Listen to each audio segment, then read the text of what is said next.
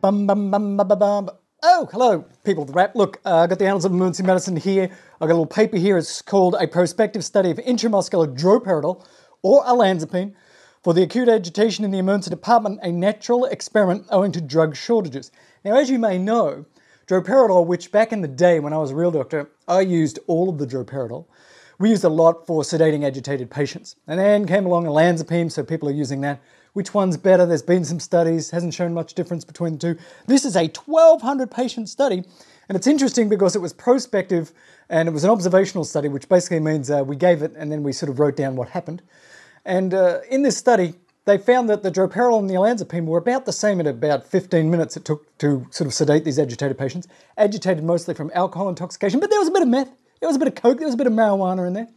And the side effect profile was pretty good. A few more extrapyramidal effects in the droperidol group, but you also needed a bit more sedation sometimes in the olanzapine group. But overall, they both both work pretty well, and uh, the side effect profile seemed pretty good. No bad things happened to these people. So there you go, 1,200 patients, pretty good study.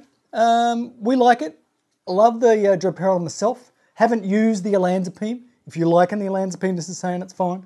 Droperidol a little bit faster, a little bit faster, but a little bit more extrapyramidal stuff, and less likely to use other drugs in this predominantly intoxicated group. Of Emergency Medicine, Mel Herbert out. Bye for now.